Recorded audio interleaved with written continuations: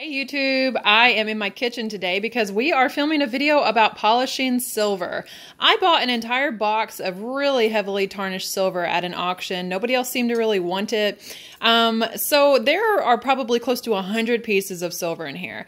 Uh, the reasons I would not want to polish 100 pieces of silver, the time it would take is not worth um, the investment. I could be doing 100 other things for my reselling business. And then also, if you've ever polished silver with um, chemical or commercial cleaning, cleaners, they stink. Leaves my house smelling like rotten eggs. So I'm going to show you a quick fast method. Now my goal is not to get this silver shiny, it's to get it looking better so I can hopefully make a bit more money than selling this tarnished mess. Let's see what we need today. You're going to need a towel that is um, not a keeper for you. You can see I've already used this towel for this method, and this is what it does to it. There's tarnish all over this towel, so please do not use one of your good kitchen towels. I have a glass casserole dish that I have lined with aluminum foil. I have lined it all the way down tightly. Um, I'm just using great value regular aluminum foil. You could use a heavy duty foil, and um, it won't break the foil, but this is what I have. Most of the recipes that I have seen have called for baking soda, but you can see I am out of baking soda. I am using baking powder. I've used this all day for this method. Seems to work very well. It also seems to bubble very, very well. So um, for the purposes of this video, I am using baking powder. But I will tell you, I think you're supposed to use baking soda. Haven't seen any adverse chemical reactions. Sorry, excuse my son in the background. Um, I haven't seen any adverse chemical reactions from using this, so this is what I am using. And then I also have some water boiling over here in the kettle. We want to make sure the water is nice and hot and absolutely boiling. Um, I am going to start layering, uh, well, I shouldn't say layering. I'm going to lay the silver in the pan here and make sure that it is um, not layered and not on top of each other. You can see this fork is probably our worst offender. Let's see how shiny we can get this thing. Again, I'm just wanting to get most of the surface tarnish, surface tarnish off of these. I'm not really aiming at them to be squeaky, squeaky clean, but I can get a lot more if some of this tarnish isn't on there. So they are all laying. Again, do not layer them on top of each other. Take the baking uh, powder, baking soda, whichever you're using, and just sprinkle that right on top. We're just going to make a layer on top. Look, it just snowed, everybody. And um, now I am going to take my oven mitt and we'll get this boiling water, turn off the flame here, and take this boiling water, and let me actually switch hands for this. I am right-handed and that's going to work out a lot better if I pour it with my right hand.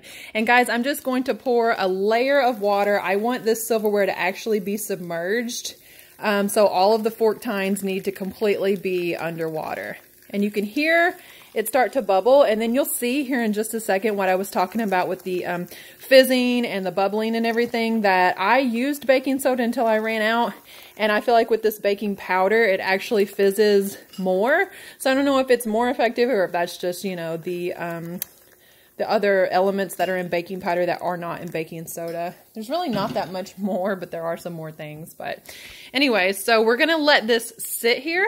Um, I take it you guys do not want to watch this happen for a couple minutes. Um, if it's not as heavily tarnished as this, you can honestly take it out within seconds and it's a lot cleaner, but you guys saw how dirty mine is. So I'm going to pause this video. We will come back and um, I'm going to move it onto this now covered in tarnished cloth and I'll just polish it real briefly with my hands. If it's still heavily soiled, then I'll show you what to do to try to get the rest of it off of there. So let's, let's let it take a bath for a minute. All right, so I have let it sit in the water for a little while. You might want to use tongs to actually pull the um, metal out of there. This was boiling water that you laid down. You could use uh, any piece of silverware that you have. Um, I'm just going to grab it with my fingers real quick. It is kind of hot. And throw it over here on this towel. And then I have just kind of been buffing it. There's nothing special on this towel. This silverware sat for, I don't know, somewhere between 60 and 90 seconds. Now you can see there's still quite a bit of tarnish here on the back. I'm actually going to throw this in um, for a second bath and then I'm going to grab, as I throw it in, I'll grab, here's our dirtiest fork, I'll grab another piece. This is the one that was nearly black when I put it in there.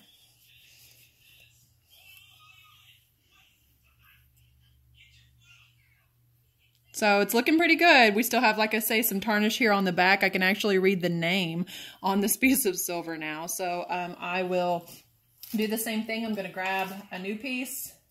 I'll go ahead and grab the other ones that haven't been taken out yet. There's one more knife in here. The other thing, you can't really see what's in there. And I'm going to throw the pieces in for a second bath. Um, that has been proving effective for me on this method. Again, I would never want to sit and polish with a chemical cleaner 100 pieces of silver, but I can totally do this. I mean, these are looking tremendously better, would you guys agree? Um, so let's go ahead and polish these all up one last time. I will throw them all back in the bath. These knives seem to be really extra dirty. Look at this. A lot of the things from this auction were from the 40s and 50s. Some of the silverware dates back 30s and 40s for sure. This one, look at how gross that is. No one wants to buy that. See if we can make it at least more appealing to where a silver collector would want to get it and see how they can polish it up themselves. So we'll give it a second bath. I will do this to all of these items again, and then I'll show you guys the final product. Um, so all I'm going to be doing is letting them set. I might sprinkle a little bit more baking powder in here just to let it fizz a bit. And we will let it sit. I will scour them one more time and then show you guys the final results.